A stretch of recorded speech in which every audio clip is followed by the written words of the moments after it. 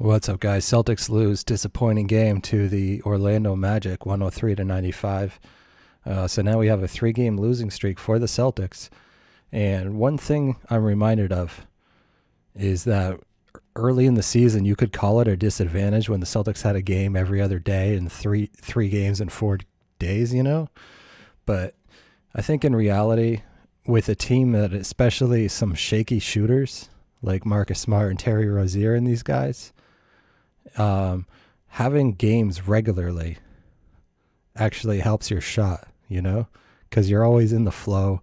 I think I think it helped with team turnovers as well. Having games so regularly, they were always in rhythm, and of course, you can't play every other day for a whole season, right? So it's not like we wish it was still going. But some of the flaws on this team are more likely to come out during a schedule where there's two two two days off in between games or 3 days or 4 days or 5 days off in between games like we've had lately, right? So Marcus Smart, Terry Rozier, they're always going to be hot and cold shooters. We see Terry Rozier, 1 for 9, Marcus Smart only took 3 shots, which is very good. But he had the four turnovers and so, you know, Jaylen Brown had four turnovers as well, just terrible.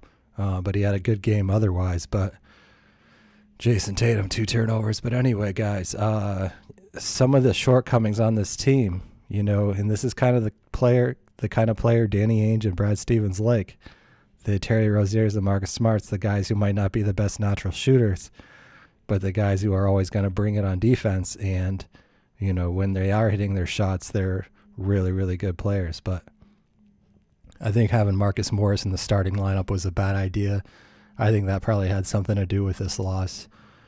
Uh, the bench really needed his scoring, and it seems like every time Brad Stevens gets a chance or an excuse, he's always throwing Marcus Morris in the starting lineup, which kind of messes up the rebounding, kind of just messes up the chemistry of both the starting lineup and the backups in the bench. I know Aron Baynes was dealing with some kind of injury, but he still should have been in there. He was healthy, he was good to go and uh, he should have been in the starting lineup even if you pull him after two, three, four minutes. Just get that, keep that same chemistry, and uh, bring Marcus Morris off the bench as the only guy who can uh, consistently uh, score.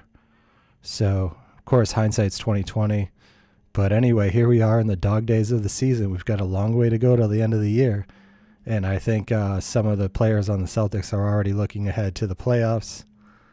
Um, I won't get into that too much, but Kyrie Irving, it looked really good considering he missed the last game with a shoulder injury. 40 points for Kyrie, but we will see tomorrow how his shoulder is feeling, right? Because the last game he played, he was fine, and then the next day he was he was no good, and the shoulder was flared up. So let's see if his shoulder flares up tomorrow, and let's see if his shoulder flares up after the next game he plays.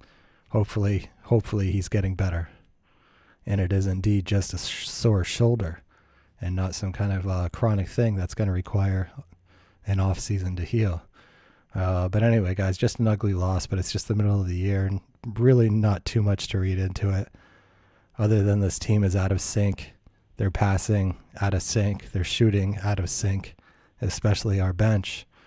So maybe a guy like Jordan Clarkson or something, I don't know. I don't want to overreact because Smart and Rozier are both better overall players than Jordan Clarkson. But uh, you know, having a Okafor off the bench or something, a post scorer, would be pretty sweet too. But uh, we got to find something because this bench is not cutting it at the moment. Let me know what you guys thought. I'll see you soon. Peace.